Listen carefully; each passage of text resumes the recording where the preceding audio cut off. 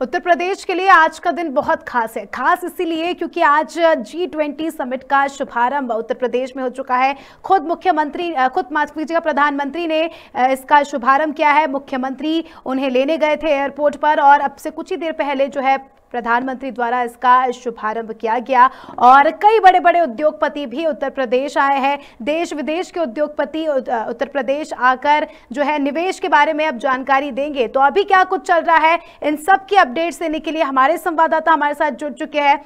लखनऊ से हमारे संवाददाता अविनाश हमारे साथ जुड़े हैं। अविनाश, अब तक क्या कुछ हो रहा है? क्या कुछ अपडेट्स है?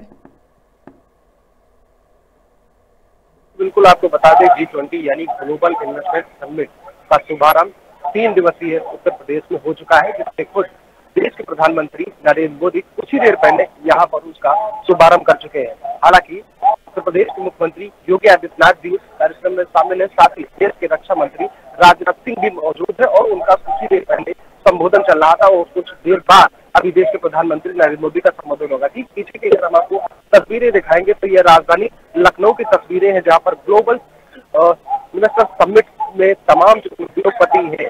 प्रदेश के और देश के तीस देशों के यहाँ पर ग्लोबल इन्वेस्टर समिट के तमाम जो लोग हैं, वो यहाँ पर पहुँचे हुए हैं। तीन दिवसीय ये ग्लोबल इन्वेस्टर समिट का कार्यक्रम रखा गया है, जिसमें जो है चौंतीस सत्रों में जो है तीन दिन के अंदर ये जो ग्लोबल इन्वेस्टर समिट है, उसका आयोजन की जो शुरुआत है, वो यहाँ पर हो चुकी है। अभी कुछ ही देर बाद देश के प्रधानमंत्री नरेंद्र मोदी का संबोधन होगा। उससे पहले अगर हम आपको बताएँ तो लगातार जिस तरीके से उत्तर प्रदेश के तमाम जो मंत्री हैं, वो निवेश जुटाने के लिए विदेशों से तमाम तरीके के जो इन्वेस्टर्स थे उनसे मिलकर आए और आज जो बीस देशों से कह सकते हैं कि जो इन्वेस्टर्स है, वो उत्तर प्रदेश पहुँचे हैं और राजधानी लखनऊ के ग्लोबल समिट में यहाँ पर कार्यक्रम में शामिल हुए हैं। साथ ही देश के तमाम जो पाँच जो बड़े उद्योगपति हैं, वो भी इसमें शामिल होंगे। उनका भी कुछ ही देर बाद आप संबोधन सुनेंगे। उससे ठीक पहले देश के प्रधानमंत्री नरेंद्र मोदी का संबोधन होगा। हालाँकि आपको बता दें, उत्तर प्रदेश सरकार के तमाम जो मंत्री हैं, जबकि सीएम की बात करें या उत्तर प्रदेश सरकार में जो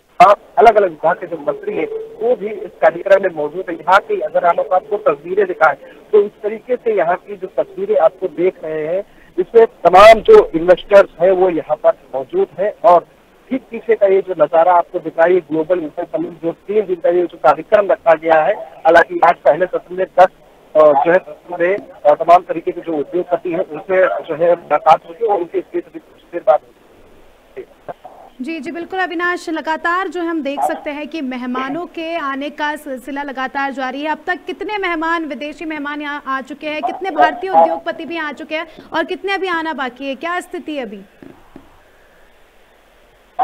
देखिए, लगभग उद्योगपति आप इस पूरे कार्यक्रम में शामिल होंगे क्योंकि देश के प्रधानमंत्री नरेंद्र मोदी भी जो पंडाल में यहाँ पर भी आपको अगर देखेंगे तो वहाँ पर मौजूद है और उनका कुछ ही देर बाद संबोधन कह सकते हैं कि उनका होने वाला है और जैसा की जानकारी अभी हमें मिल पा रही है, देश के जो है नरेंद्र मोदी उनका संबोधन शुरू हो चुका है और साथ ही आपको बता दें कि लगातार राजधानी लखनऊ को जिस तरीके से ग्लोबल इन्वेस्टर समिट की तैयारियाँ पिछले कई महीनों से चल रही थी, पूरे राजधानी को दुल्हन की तरह सजाया गया तमाम जो इन्वेस्टर्स है, वो उत्तर प्रदेश पहुँचे। हैं और लगातार की कोशिश रही है कि पिछले कई महीनों से इन्वेस्टर जुटाने के लिए तमाम जो मंत्री उत्तर प्रदेश सरकार ने वो भी जोड़े है। तो कहीं ना कहीं कह सकते हैं कि बहुत बड़ा जो इन्वेस्टमेंट का महाकुंभ आज उत्तर प्रदेश में लगा हुआ है। जी, बिल्कुल इस तस्वीरों में हम ये भी देख सकते हैं कि भारत, भारतीय प्रणाली जो है अतिथि देवो भव की, कि हर विदेशी को, हर उसको हम अतिथि मानते हैं और अतिथि को हम भगवान समान मानते हैं और वो साफ़ देखने को मिल रहा है यहाँ पर। हर देश का अलग अलग झंडा यहाँ लगा है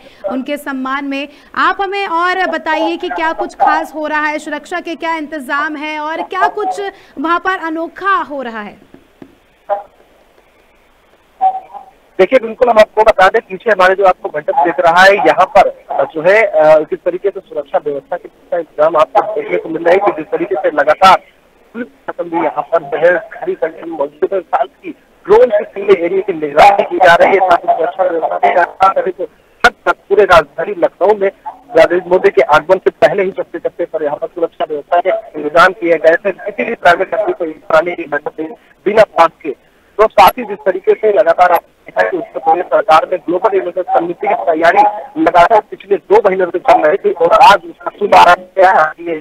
तीन दिवसीय जो है ग्लोबल कार्यक्रम का पहला दिन है। हालाँकि पहले के है इस तरीके से जो ग्लोबल के सवाल प्रदेश सरकार के मंत्री है विभागों के जो मंत्री उद्योगपति है केंद्र अमित शाह भी यहाँ पर उस कार्यक्रम में तीन वर्ष के बाद जब समापन होगा तो उसमें देश की पहली महिला द्रौपदी मुर्मू जी यहाँ पर पहुंचेगी और उनका जो है समापन जो है ग्लोबल इन्वेस्टमेंट का समापन जो है मुर्मू के राष्ट्रपति के द्वारा होना है। साथ ही अगर यहाँ की अगर बात करें तो कुछ देर पहले जो है, प्रधानमंत्री नरेंद्र मोदी का संबोधन चालू है तो है, उनका भी कुछ देर तक यहाँ पे संबोधन करा तो जिस तरीके से आपने देखा, कि लगातार कई रही होगी जो तैयारियाँ चल रही है तो इसको लेकर यहाँ पर आज जो कार्यक्रम चल रहा है प्रधानमंत्री के संबोधन तमाम मुद्दों को संबोधित कहा है हैं। जी जी बिल्कुल बहुत बहुत शुक्रिया अविनाश आपका हमारे साथ जुड़ने के लिए और तमाम जानकारी साझा करने के लिए। तो लाइव अपडेट्स हम आपको उत्तर प्रदेश से दे रहे हैं, जहाँ पर कुछ ही देर बाद प्रधानमंत्री का संबोधन जी ट्वेंटी में शुरू होने वाला है। मेहमानों की आगमनी जो है लगातार चल रही है। कई भारतीय उद्योगपति भी इस समिट में शामिल हो रहे हैं और लगातार मेहमानों के आने का सिलसिला हम देख रहे हैं। तस्वीरों में आप देख सकते हैं, बहुत ही अच्छे इंतज़ाम किए गए हैं। बात अगर सुरक्षा की करें और साज सज्जा की